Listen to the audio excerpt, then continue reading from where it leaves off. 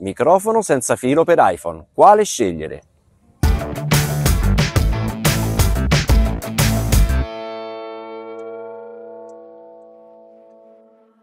Ciao, sono Massimo e per i viaggi di Columbus oggi faccio un video diverso perché voglio raccontarvi come mi sono orientato per l'acquisto di un microfono senza filo per iPhone. Qualche settimana fa volevo acquistare appunto un microfono lavaliere, come questo, quelli che si attaccano alla giacca, alla cravatta o più semplicemente alla maglietta, per il mio iPhone. Mi sono detto che cosa c'è di più semplice, vado su Amazon, scelgo un prodotto e in 24 ore ce l'ho a casa.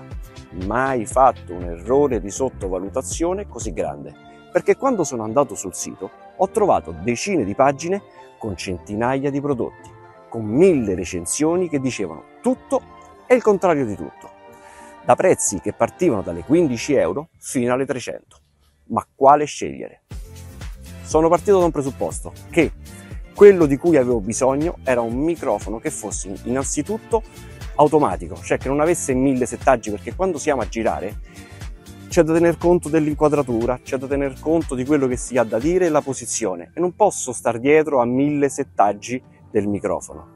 In più deve avere una durata di batteria sufficientemente larga perché dietro 6 minuti di un video che vedete e trovate sul mio canale di viaggio ci sono delle riprese che vanno dalle 8 alle 12 ore tra scene fatte, rifatte, spostamenti e quant'altro. E poi che abbia un raggio d'azione sufficientemente largo perché non sempre in un'inquadratura si riesce a stare vicini al cavalletto.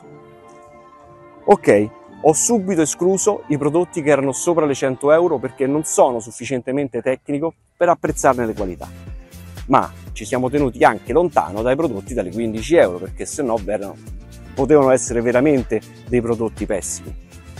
Come nella maggior parte delle cose eh, accade, la via giusta è sempre nel mezzo. Ci siamo orientati su prodotti che andavano tra le 50 e le 60 euro e tra questi prodotti abbiamo trovato i Boyai BYV2 che ci promettono una durata di batteria dalle 9 ore, un tempo di ricarica di 2 ore e un raggio di azione di circa 50 metri. Ma vediamo se mantiene la promessa.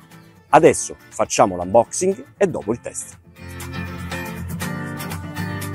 Ed ecco l'unboxing. Questo il pacco come mi è arrivato da Amazon. Questa è la scatolina molto piccolina perché i microfoni, almeno da come erano descritti, sembravano essere veramente piccoli. Andiamo ad aprirlo. Non ci sono sigilli.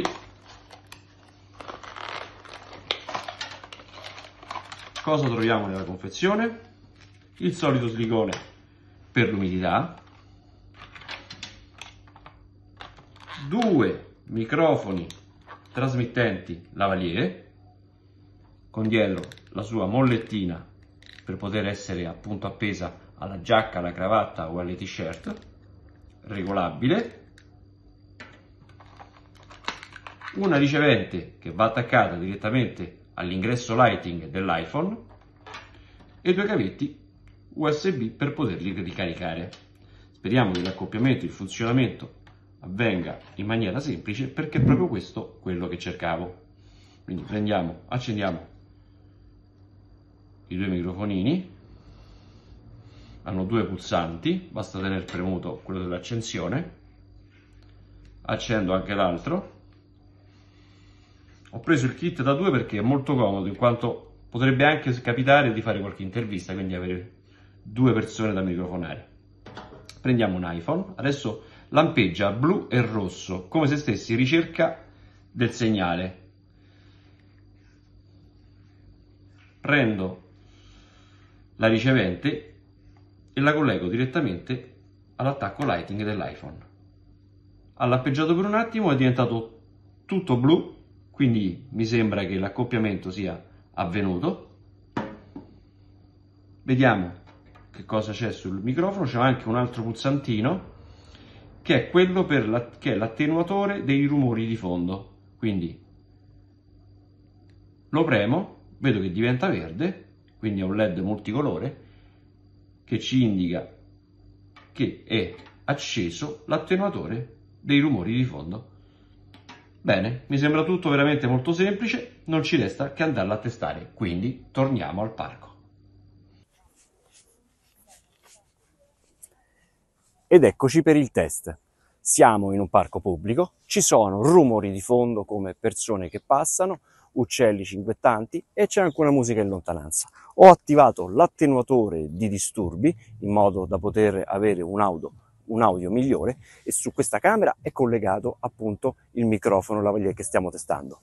Su quest'altra camera c'è invece il microfono che è in dotazione della camera stessa. Ovviamente la differenza dell'audio la potete apprezzare voi stessi, non c'è bisogno che entro in tecnicismi anche perché non ne sarei in grado, l'unica cosa che voglio testare è lo spazio di lavoro, cioè qui adesso siamo a circa 5 o 6 metri, vediamo di allontanarci almeno fino a 20-30 metri e vedere se la copertura è ancora buona. È inutile andare oltre i 50 perché nell'inquadratura veramente saremmo dei soggetti talmente piccoli che neanche sarebbe percepibile. Quindi adesso mi allontano e vediamo se ancora è in grado di captare e ricevere il segnale. Ok, abbiamo raggiunto una distanza di circa 20-25 metri e questa è la risposta che dà il microfono con la ricezione. Qui siamo sempre con la camera collegata al microfono e qui l'audio immagino che sia veramente quasi impercettibile. L'audio, il microfono, la camera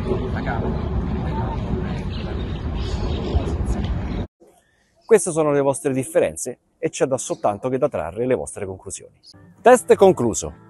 Ringrazio la Boyei per averci fornito questo microfono che a un costo di 60 euro di listino che passa scontato a 50 mi sembra un rapporto qualità-prezzo ottima. In descrizione vi lascio il link per l'acquisto sul sito di Amazon e tutti i dati tecnici. Il nostro video finisce qui, se vi è piaciuto lasciate un like e iscrivetevi al canale che stanno per uscire molti video sul mio canale di viaggio, che siamo stati nei vigneti più famosi della Toscana, nel paese degli artisti fino all'ultimo angolo selvaggio d'Europa, perché la curiosità ci porta lontano. Ciao e a presto!